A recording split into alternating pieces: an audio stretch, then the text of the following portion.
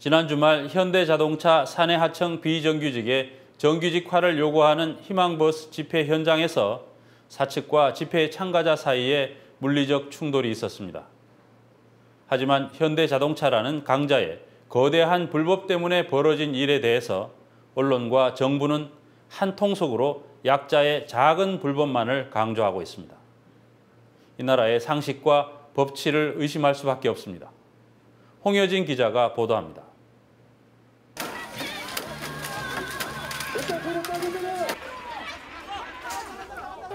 현대자동차 울산 공장 담을 사이에 두고 물대포와 만장 막대기가 오갑니다.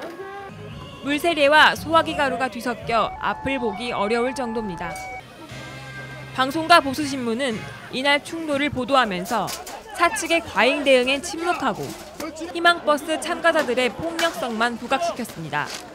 쇠파이프와 대나무 막대기를 든 희망버스 시위대가 현대차 공장 무단 진입을 위해 담장 철거를 시도합니다. 희뿌연 소화기 분말에 물대포가 사방에서 장렬하고 현장은 3시간 동안 아수라장이 됐습니다. 희망버스 참가자들이 마치 폭도인 것처럼 몰아간 것입니다.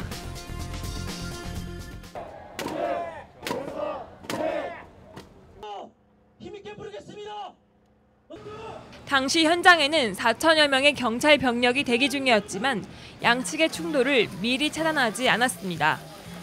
더구나 물대포와 소화기를 동원한 현대차 경비 인력의 과잉 대응을 바라만 봤습니다. 그러나 이런 상황을 주요 언론은 거의 다루지 않았습니다. 당일 현장에서 충돌이 없었던 건 아니었지만 그 충돌이 과연 어떤 과정에서 일어났는지 그리고 그런 과정들이 왜 일어나게 될 수밖에 없었는지에 대한 최소한의 어떤 탐구, 어, 사실 확인, 추적 이런 것들이라도 있어야 하는데 그렇다면 희망버스가 현대차를 찾게 된 근본 원인은 무엇일까?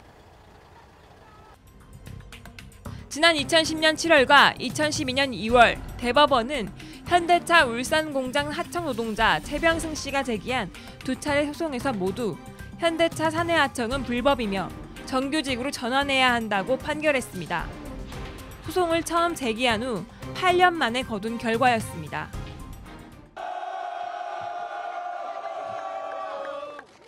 것이 만약 한 사람의 문제라고 또다시 지리한 법적 논쟁으로 가져. 너무나도 기쁘고 좋은 날이었지만 제 눈에서 눈물이 흘렸습니다. 얼마나 서글프고 서러웠으면은 이 두 눈에서 눈물이 나고 그랬겠습니까? 현대차 비정규직 노조는 대법원 판결을 근거로 불법 파견 노동자들의 정규직 전환을 요구했습니다. 그러나 달라지는 것은 없었습니다. 오히려 현대차는 대법원의 정규직 전환 판결을 받아들이지 않고 파견법 자체를 인정할 수 없다며 헌법 소원을 제기했습니다. 대법원 최병승 건에 대해 최병승 씨 판례에 대해서는 네. 판결에 대해서는 저희가 충분히 이해는 했고요. 네.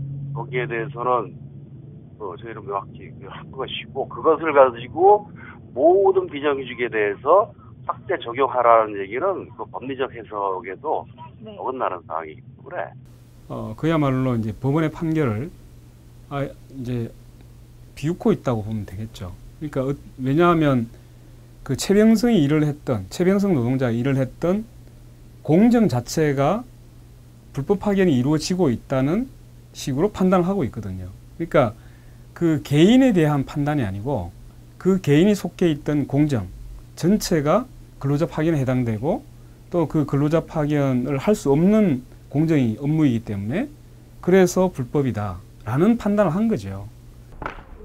대법원 판결로도 해결되지 않자 현대차 불법 파견 문제는 다시 노동자들의 투쟁으로 이어졌습니다.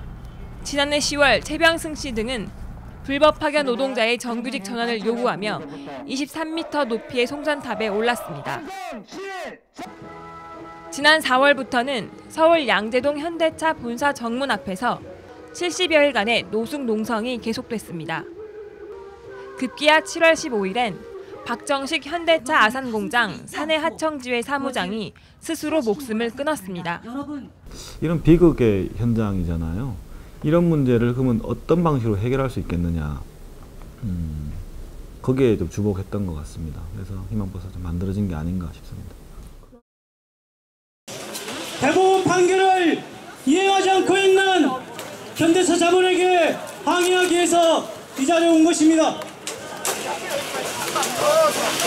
저희들 이야기합니다. 법을 지켜야 된다고 이 나라가 법치국가라고 이야기를 합니다. 현대차 자본공지들 현대차 자본이 법을 지키고 있습니까?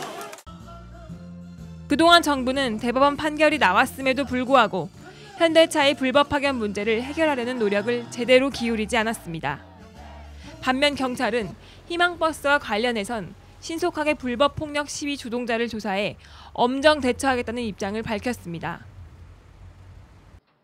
울산지방경찰청 희망버스 합동수사본부는 불법 시위를 주도한 4명에 대해 폭력 등의 혐의 등으로 체포영장을 신청했습니다. 대법원이 현대차 사내하청은 불법이라는 취지의 판결을 내린 지 3년.